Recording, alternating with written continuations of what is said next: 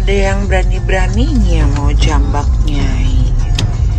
Udah pernah dijejek belum mulutnya? Ini bukan hanya berlaku untuk saya, dengan semua orang harus sopan, bagaimanapun bentuknya orang itu.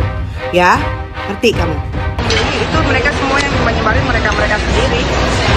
Makan hidup di London Uran ada itu yang diambil. Panteng bagi hidup gue untuk nyinggol orang duluan. Gue lebih seneng disenggol. Berani-berani jambak Nyai. Hah? Situ punya karate atau silat. Private. Eh, kita mau private. Hari ini nggak boleh eh, ada di Instagram karena ini private untuk inti dari konferensi pers kemarin dia mengatakan dua-duanya mengatakan saya tidak ambil suami orang Itu adiknya yang nyebarin. Semua foto itu adiknya nggak mungkin dari keluarga Reno tuh nggak mungkin nyebarin gila aja. Saya taruh di kepala saya.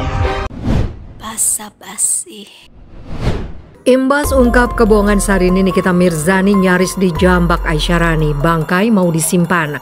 Hubungan Nikita Mirzani dan Syahrini pernah begitu buruk. Bahkan Nikita Mirzani pernah memiliki pengalaman nyaris dijambak oleh adik Syahrini yaitu Aisyarani. Semua itu karena adanya sebuah momen saat awal-awal Syahrini dan Reno Barak mengumumkan pernikahan keduanya. Nikita Mirzani teringat bahwa Nikita tahu fakta hubungan Syahrini dan Reno Barak. Menurut wanita yang kerap disapa Nyai atau Nikmir itu, Syahrini dan Reno Barak merupakan pasangan yang memulai hubungan saat masih ada hubungan lain di antara mereka. Janda tiga orang anak itu menyebut bahwa Syahrini dan Reno Barak memulai hubungan mereka berawal dari perselingkuhan. Seperti diketahui bersama, Reno Barak sebelumnya memiliki hubungan cukup awet dengan artis Luna Maya. Lima tahun hubungan panjang itu berakhir sia-sia karena Luna Maya tidak menerima restu dari orang tua Reno Barak. Pada akhirnya, Reno Barak dan Syahrini menikah secara tertutup hingga akhirnya menggelar acara mewah di Indonesia. Kala itu sebagai artis yang kerap menguak kisah kelam artis lain, Nikita Mirzani pun membongkar cerita yang tidak banyak diketahui publik soal hubungan Reno dan Sarini. Hal itu diungkapkan Nikita Mirzani di acara Brownies yang diunggah di YouTube Trans TV Official. Dituding bikin kontroversi, Nyai mengaku sebenarnya tidak mau tahu soal pernikahan Sarini dan Reno Barak. Akan tetapi, ia merasa disenggol duluan hingga akhirnya membongkar borok pasangan yang menikah 27 Februari 2019 itu. Niki kan sebetulnya dia mau nikah sama siapa aja ya terserah. Cuma kan caranya, kata Nikita Mirzani. Jadi gini, dia itu Aisyarani marah-marah sama sahabat Niki. Dia juga marah-marahin Niki, sambungnya kala itu. Nyai yang membocorkan hubungan spesial Sarini dan Reno Barak saat itu dilabrak Aisyarani yang menyebut kakaknya tidak berhubungan dengan mantan Luna Maya itu. Namun yang terjadi justru Sarini melangsungkan pernikahan dengan Reno Barak secara diam-diam di Masjid Chami, Tokyo, Jepang. Hal itu membuat Nyai terang-terangan menyebut Sarini adalah selingkuhan Reno Barak sejak masih bersama Luna Maya.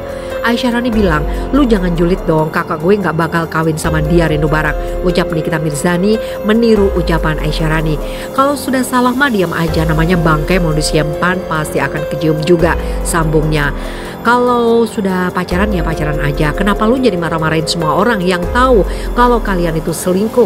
Tambahnya, Ruben Unsu yang kesal lantas menegur sikap Nikita Mirzani yang dinilai terlalu barbar membongkar aib orang. Maksud gue gini, lu kalau ngomong bener apa nggak sini? Kalau hoax ada undang-undangnya lo, semprot Ruben Onsu. Gue mah bisa dipertanggungjawabkan saut janda tiga anak itu. Akibat dari perbuatannya, Nyai juga mengaku hampir dijambak teman Aisyah Rani saat keduanya tidak sengaja bertemu. Wah ada yang berani-beraninya mau jambak Nyai. Eh mbaknya, sebelum lu jambak Nyai, yang ada mulut lu duluan yang gue injek gede juga nyali lu. Jakarta sempit mbaknya, awas lu nggak jambak nyai pas ketemu. Tulis Nikita. Meski telah vakum dari dunia artis, usai nikahi Reno Barak sosok Sarini memang masih jadi perhatian. Satu di antara kala Sarini melakukan adegan ngopi sembari catwalk di Singapura. Kini artis yang akrab disapa Inces memang tengah berada di sana bersama suaminya, pengusaha Reno Barak. Aksi istri Reno Barak ngopi sembari jalan berlenggak-lenggok bak model menuai komentar Aisyah Rani, adik perempuannya. Hal tersebut diketahui dari unggahan Instagram Sarini pada akun pribadinya. Dilansir dari banjarmasinpost.co.id, Inces mengemas adegan demi adegan dalam sebuah video reel. Mulai dari adegan berjalan sembari membawa tas dan segelas kopi, kemudian Inces duduk di kursi sambil meminum kopi tersebut. Setelah itu ia berjalan meninggalkan kursi sambil membawa tasnya. Coffee and baguettes to fulfill my morning. Terang Syahrini melalui caption, tidak lupa Inces sembari memperlihatkan gaya berpakaiannya mengenakan setelan blazer. Tidak ketinggalan sepatu high heels dan kacamata hitam sebagai aksesoris pelengkap. Sontak saja aksi tersebut dikomentari oleh Aisyarani. Dalam komentarnya, Aisyarani tampak bertanya pada Syahrini hendak menuju ke mana. Shus, rek ke mana sih? Komentar Aisyarani. Lantas Inces menjawab komentar tersebut dengan kalimat akan pergi ke tempat yang membuatnya senang. At SYH55 ke mana-mana hatiku selalu senang dong. Ah balas Syahrini Bangkai mau disimpan aksi Aisyarani nyaris jambak Nikita Mirzani gegara frontal buka aib Syahrini. Kebohongan akhirnya terungkap. Diketahui bahwa hubungan Syahrini dan Nikita Mirzani pernah sangat buruk bahkan sang nyai diketahui memiliki pengalaman buruk yaitu hampir dijambak oleh adik sang biduan Aisyah Rani. Hal itu berawal saat di mana Syahrini dan Rino Barak mengumumkan pernikahan keduanya. Kala itu, Niki rupanya tahu fakta soal hubungan sang biduan dan pengusaha itu. Rupanya sang nyai mengetahui bahwa saat hubungan Syahrini Syahrini dan Reno Barak memutuskan untuk memulai satu hubungan, kala itu masih ada hubungan lain yang terjalin di antara mereka. Lantas saja ibu tiga anak itu mengatakan bahwa hubungan Syahrini dan Reno dimulai dari berselingkuh. Seperti yang kita ketahui sebelum menikah dengan Syahrini, Reno diketahui memiliki hubungan yang sudah terjalin begitu lama dengan sosok Luna Maya. Selama lima tahun menjalin asmara, diketahui bahwa orang tua Reno tidak merestui hubungan tersebut hingga pada akhirnya pengumuman pernikahan Reno dan Syahrini secara tertutup pun mencuat di media media hingga pada akhirnya mereka melaksanakan acara mewah di Indonesia. Kala itu Niki pun sangat gencar menguliti semua hal tentang hubungan tersebut meski pada awalnya ia mengaku tidak ingin ikut campur soal pernikahannya. Meski begitu ia merasa bahwa dirinya telah disenggol terlebih dahulu oleh keluarga Syahrini. Akhirnya memutuskan untuk membongkar aibnya. Niki kan sebetulnya dia mau nikah sama siapa aja ya terserah aja. Cuma kan caranya kata Nikita Mirzani. Jadi gini, dia itu Aisyah Rani marah-marah sama sahabat Niki. Dia juga marah marahin Niki, sambungnya kala itu. Sang Nyai pun akhirnya membongkar semua borok hubungan yang terjalin antara Sarini dan Reno Barak. Ia juga mengatakan bahwa sang adik Aisyah Rani kala itu mengaku bahwa kakaknya tidak akan mungkin menikah dengan mantan kekasih Luna Maya itu.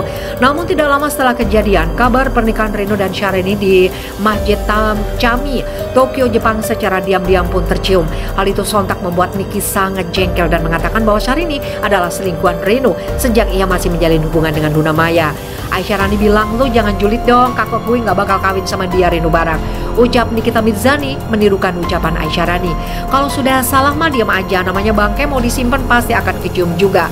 Kalau udah pacaran ya pacaran aja. Kenapa lu jadi marah-marahin semua orang yang tahu kalau kalian itu selingkuh? Gak ingin terlalu percaya dengan omongan Nikita Mirzani, Ruben Onso pun kala itu mempertanyakan kebenaran omongannya dan menegur Niki karena sangat belak-belakan mengumbar aib orang lain.